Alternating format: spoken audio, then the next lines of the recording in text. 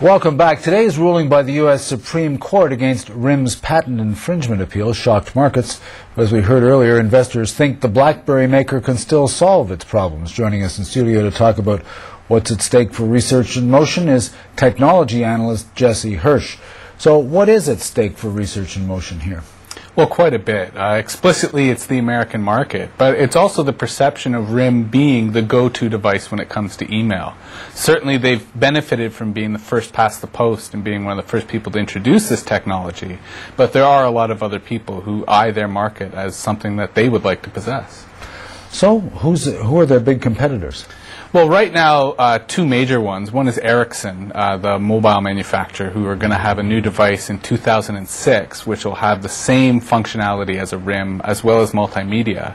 Uh, also, Microsoft. What does that mean, have multimedia? Well, multimedia in the sense of audio, video, have a camera as part of the phone. RIM is really focused on the business market in terms of being just email and office applications. But in fact, there are more people, for example, real estate brokers, who are looking at Treo phones that have the same office capabilities capabilities, but also have cameras and also have multimedia capabilities that are good for looking at presentations and for taking pictures when you're on the road, which RIM has not really focused on. And RIM, uh, if I remember, uh, does not have a great uh, address book.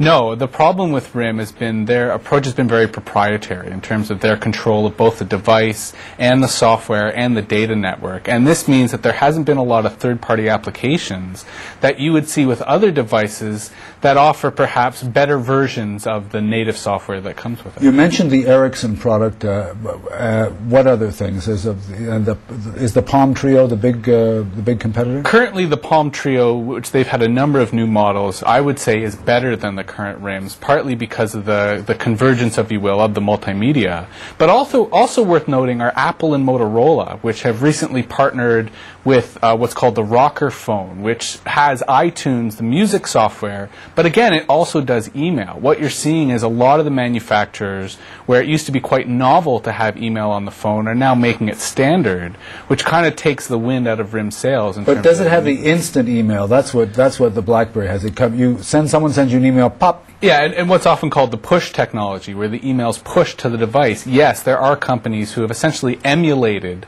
what RIM has done and are are essentially offering this type of technology with their devices. So people no longer have only RIM as the choice for that type you of technology. You still use this thing. You, you haven't switched.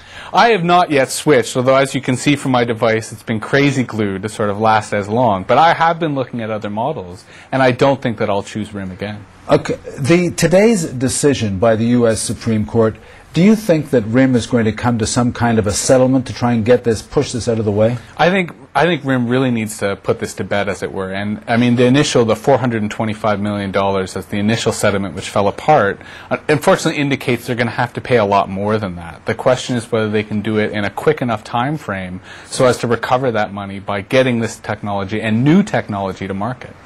Well, what do you expect from RIM? I mean, these, they, I mean, you know, they came out with this product. They were first. Uh, do they have anything waiting in the wings? Do you think? Well, nothing that they've announced. I mean, their their focus over the last few years has been refining what they have rather than looking at something new. And, and I think there's a certain complacency that they've had, which again may come to bite them in the next year when there are a lot of new models brought out by the major mobile manufacturers, and that RIM may find that rather than focusing on making their product better, they should have looked at introducing new products.